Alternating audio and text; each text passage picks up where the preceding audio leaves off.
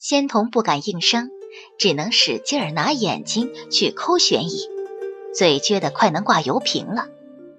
玄乙爽快的应声：“是我。”陌生的神君扭头望向他，他身量颇高，身上穿着一件浓紫色的长衫，上面绣满了金色的玄鸟，显得十分华丽，甚至花哨。然而穿在他身上就是特别合适，特别好看，挑不出半点错。玄乙盯着他额上坠下的火红宝珠看了许久，宝珠色泽浓烈鲜艳，十分夺目。她的容貌在这璀璨宝珠的映衬下，非但不失色，反而更加浓烈俊美。除了青燕，他还是第一次见到可以称为俊美的神君。哦，为什么？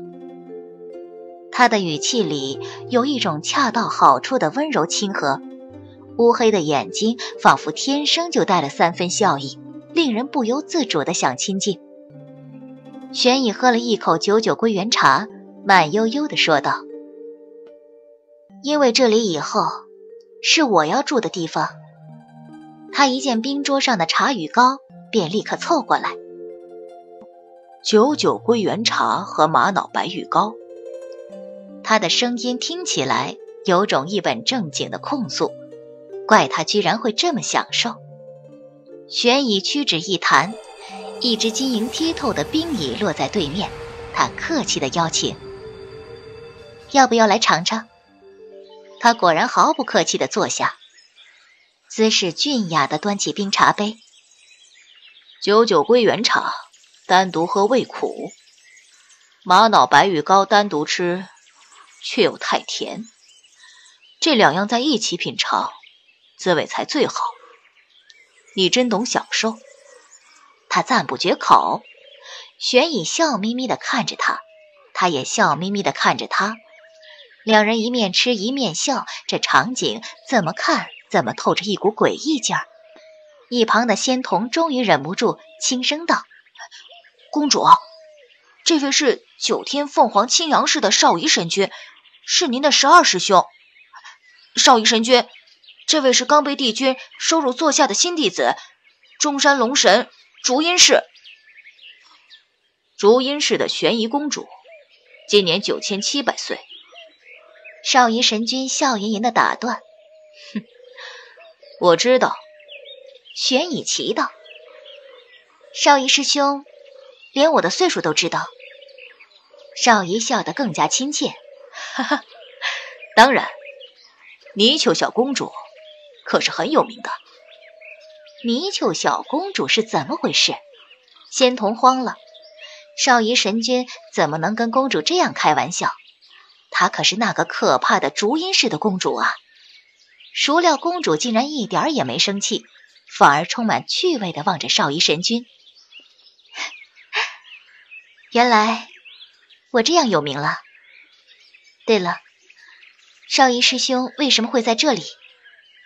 少仪神君用袖子优雅地挡住一个脱口欲出的呵欠，声音里带了几丝慵懒。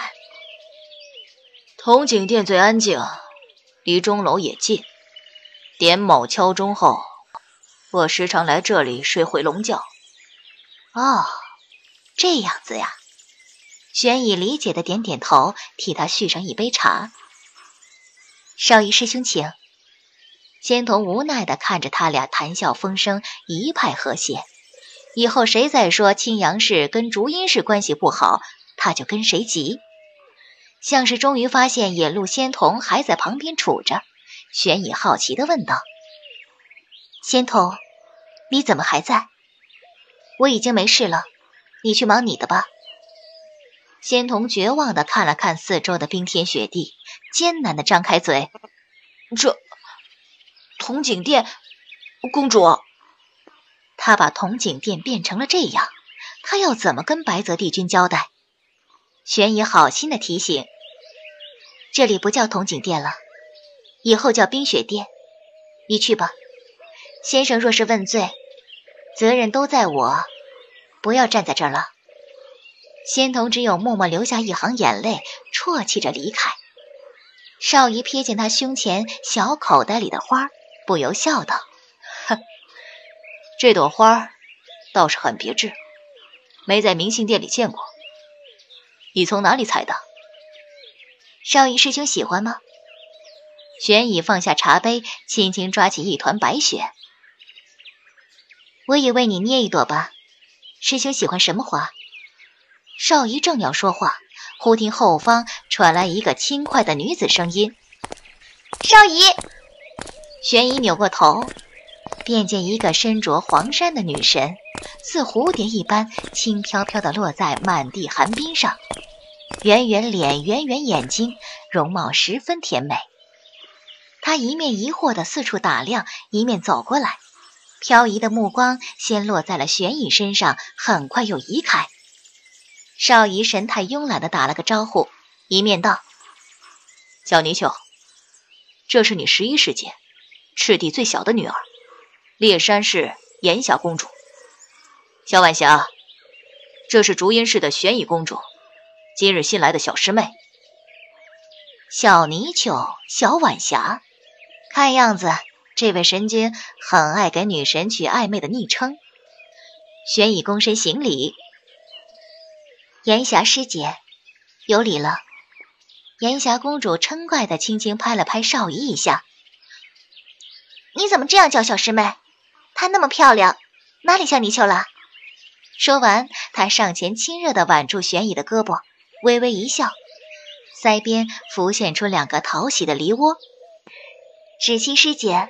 和富罗师姐都是难得一见的美人儿，现在来一个小师妹都这么美，成天见着这样的美人，我可真是越来越无地自容了。玄乙笑得谦和，炎霞师姐过奖了。他将手中的白雪轻快地捏出一朵清丽的芍药，含笑双手递给炎霞公主，望着她有些错愕的眼睛，柔声道。芍药清丽婉约，正配得上师姐的姿容，还望师姐不要嫌弃。一席话说的炎霞公主目中流露出喜意，笑吟吟的将雪芍药系在了胸前。谢谢小师妹，你真是心灵手巧。她转身又看向少仪，说话又快又清脆。听说今天来了新弟子，罗浮师姐他们。都在扶桑师弟院落里呢，可热闹了。我想着这会儿你该醒过来，就过来铜景殿叫你一起去。谁知这里竟变成这样，吓了我好大一跳。少仪懒洋洋的开口：“我不爱热闹，你去吧。”炎霞公主有些急：“是富罗师姐让我来叫你的，你也不去？”少仪乌黑的眼眸戏谑又暧昧的递他一眼。他想叫我，就让他自己来。他不来，我为什么要去？还不如在这里与小师妹喝喝茶。烟霞公主面上忽然微微一红。那我叫你去，你去不去？少爷轻笑着做事，在她圆圆的脸上伸指一刮。哼，是你想叫我陪你，还拖着罗夫当借口，小丫头。炎霞公主娇嗔的翻他一个白眼，哪有？你明明……好了，快走吧。他不由分说，拽着袖子就扯人。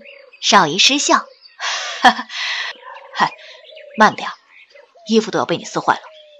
怎么不问问小师妹去不去？炎霞公主愣了一瞬，有些尴尬。她只顾着少仪，倒把新来的小师妹忘了。她赶紧笑道：“嘿，对呀。”小师妹去不去？师兄们都在，可热闹了。